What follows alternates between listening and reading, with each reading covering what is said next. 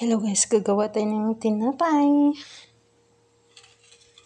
Tinapay. Ito yung dough kanina na pinaano natin.